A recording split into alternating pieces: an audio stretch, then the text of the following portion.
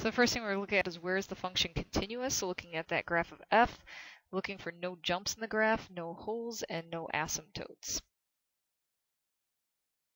So we look at the graph and we're looking for any jumps, holes, or asymptotes, and that's where the function is not going to be continuous.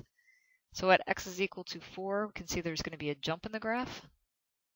So our function is continuous from negative infinity until 4 union 4 to infinity. Now we're going to look at the intervals in which the function is differentiable. Differentiable means we're looking for three things. No discontinuities. So that means no holes, no jumps, or asymptotes. Second thing we'll be looking for is there's no sharp turns. No sudden change in the slopes of the curve. And the third thing we'll look for is no vertical tangent lines. I want to make sure that we don't have any tangent lines that have a slope of that is undefined. So at x is equal to negative 3, we can see there's a sharp turn there. Also at approximately x is equal to 12, we have another sharp turn in the graph. And at about 18, we could draw in a vertical tangent line.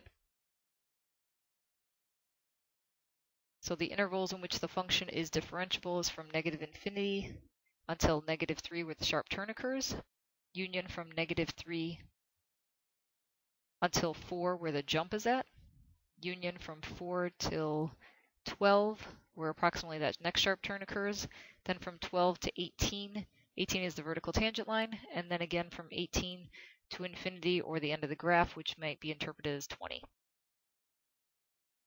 So now we have all those different places where the function is not differentiable. Now we have to say the reasons why.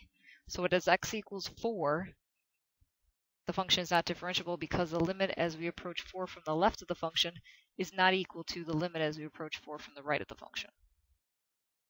So the two limits from the two sides of the function do not exist. Therefore, it creates a jump.